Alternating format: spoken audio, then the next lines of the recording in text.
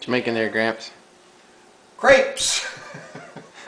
crepes. I'm making crepes.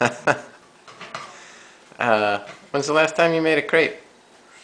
About 25, 30 years ago, I'm making crepes Suzette. Je fais, je fais en crepes Suzette.